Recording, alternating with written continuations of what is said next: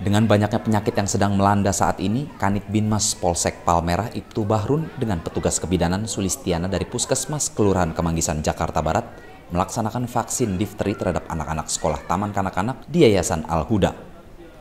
Adapun sebanyak 71 siswa dan siswi Taman Kanak-Kanak Al-Huda kali ini mendapatkan vaksin tersebut. Kepala Sekolah TK Al-Huda Ratina menyempatkan berbincang dan menemui Kanit Binmas.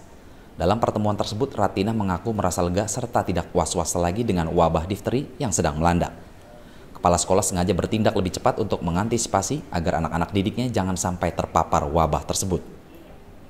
Hal ini dapat terjadi berkat kerjasama antara pihak puskesmas dengan Binmas Polsek Palmerah. Ini kerjasama antara Yayasan Alhuda dengan dengan puskesmas ke kecamatan, kecamatan Palmerah.